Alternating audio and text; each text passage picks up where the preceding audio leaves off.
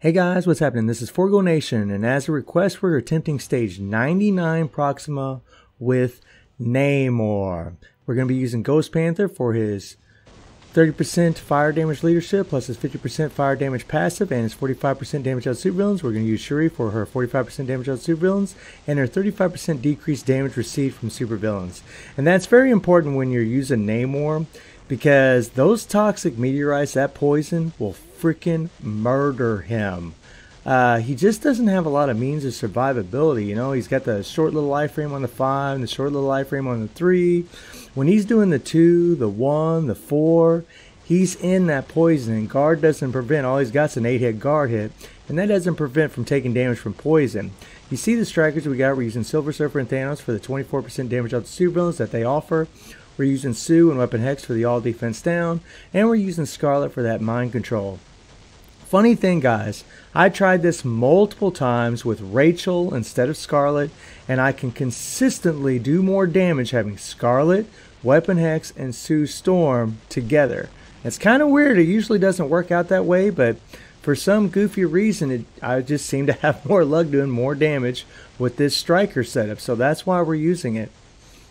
And I'm starting off with stage 99 guys from the beginning of the video because on my account having 55% physical attack and the build that I have on Namor, and that's really what's affecting this the most, he just doesn't quite have it. Like he's super strong. We all know he's a mega freaking monster, but he just he's so inconsistent. You know, when you're doing your tier 3 I mean, Weapon Hex could come in and attack and do her all defense down while you're doing your tier 3, but there's a little gap in the middle of it, and if things aren't timed right, you're not going to get the all defense down capped when it needs to when Namor is attacking.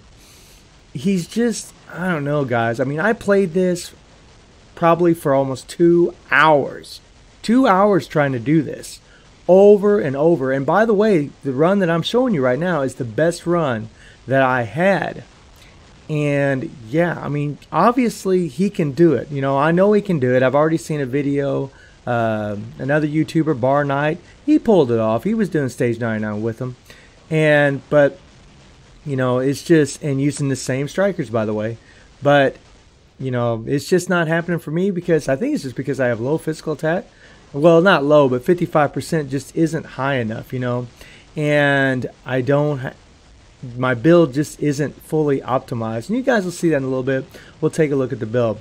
Now, we're going to stop this run at a minute 30 because we're way behind. Right now, we just finished the 11th bar. We should have done that at three minutes. We're almost a minute behind.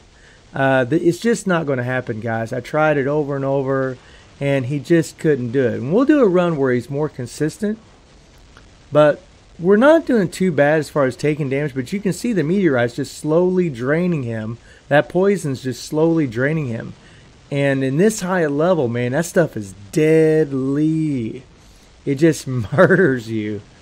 I mean, this isn't bad. I mean, like I said, this, this is a good run, but it just it just I don't I mean it can happen, but I'd have to play this for hours probably to pull it off, and I'm not going to do that. And you know we're down to a little over eight and a half bars, and there's just no way that he would be able to clear this. You know we need to be down to about I mean, at this point, we need to be down to about six bars at least. You know, he just he isn't going to get it done, guys. By the way, in this particular run, I ended up dying, so that's why I'm just pausing it now.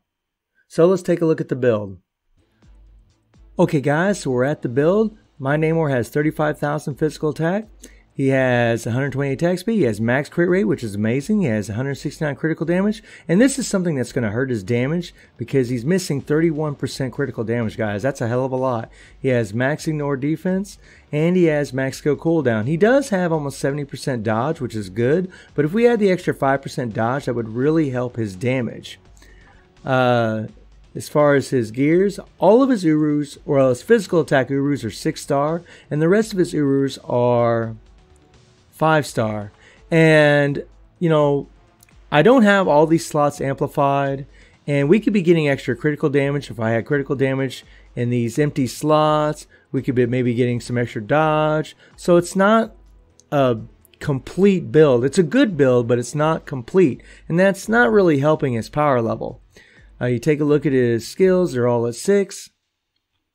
And he has a fully awakened Power Angry Hawk set, but honestly, guys, I think he'd be better off with Overdrive. I don't think you really need uh, the attack speed for Namor because he's actually going to get attack speed from his fist skill here. Uh, it's going to give him 7 seconds on a, on a 10 second cooldown. So, it, so for 3 seconds, out of every rotation that you're going to go through, he's not going to have attack speed, but that's fine, man. It's not, I mean, it's really not going to make much of a difference. And you're going to get that extra critical damage here, which he needs. And then we have the CTP of Rage, and this is at 0.9%, and we do have the 60% ignore boss damage decrease by 60%. So it is a pretty good uh, Rage. The crit rate's 23%, the dodge 30%, not too bad. And then you take a look at his uniform, and this is something that's hurting his damage as well, guys. He I don't have all these extra stats. So you take a look at the uniform option. You know, we got the dodge from the first slot with Shuri. We got the max amount of physical attack from Wolverine. And we got all this extra HP from having Hawk because we already have max ignore defense. But this slot here is dodge. We could be maxing out our dodge on our CTP of rage. And then all those empty slots on the gears, I could be putting critical damage Urus. And then on this slot here, we could be putting critical damage or all attack, but I'd probably end up putting critical damage so we could max out that critical damage. Honestly, guys, that would make a massive difference in damage. Plus, the uniform is only at heroic. So we still don't have this thing at mythic. We could be gaining an extra 4% all attack, which would help, you know. So it's not an optimal build. It's a good build, but it's just not optimal. So guys, what we're going to do is we're going to do that run again, but we're going to do a stage that's much more consistent. So let's get into the action and let's rock and roll.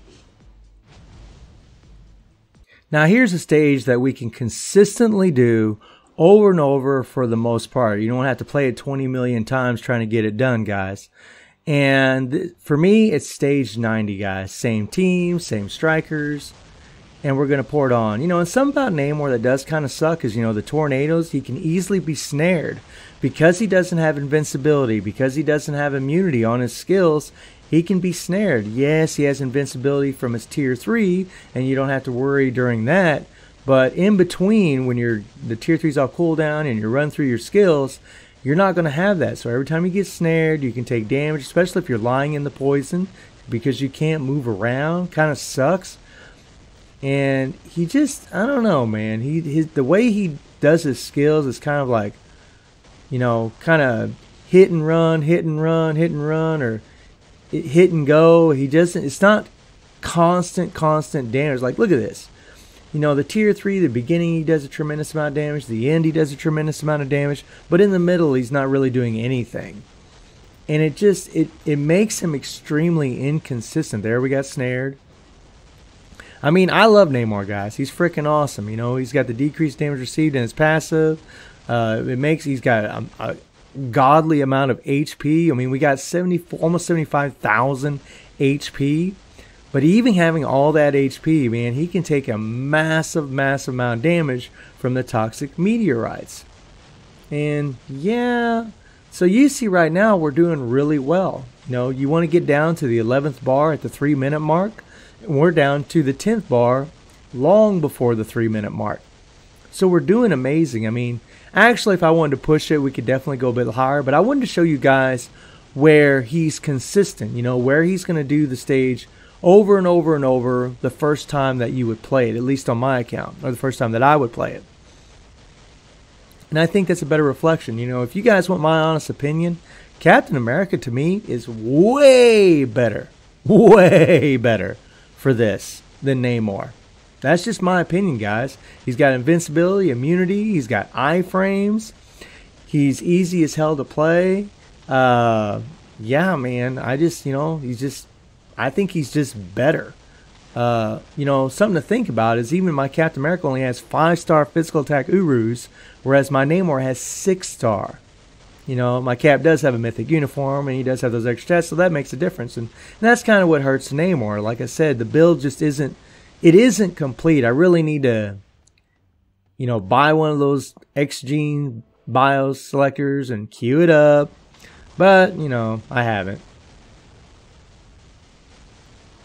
You know, I saw that we were getting the, I was getting a request quite a bit to do this. And I thought, man, it's going to be tough on my account. It's just, you know, I don't have a lot of physical attack. You know, 55% is good, but it's nothing great. You know, it's not like, you know, having 83% energy attack. And you guys look, look at his damage just go by, or not his damage, but his health. When he's in the toxic, the poison, that damage just goes, or the damage, the health just goes bye bye. I mean, you know, even at stage 90, we're down to 30,000 HP when we started off with almost 75,000. You know, we got Proxima under mind control the whole freaking time. Uh, you know, so she's really not doing any damage to us. It's the toxic meteorites. And when you're up in stage 99, even more damage is going to get done to you by that crap. And that's really what made it hard to keep them alive. I mean, you could bring in anti-venom, but anti-venom strikes when you're attacking. And Scarlet, Sue, and Weapon Hex strike when you're attacking. If you bring in a fourth character that strikes when you're attacking, one of those characters will not be coming in as often as they should be because only three characters will come in, three strikers will come in at any given point. And it could be any three. So you want the, the ones that are striking when attacking to come in, which are Scarlet, Sue, and Weapon Hex. You don't want any others coming in. And by the way, I did try that with anti-venom and all, and yeah, I could keep them alive, but then my all the even sound was way more inconsistent because of what I just mentioned. So yeah.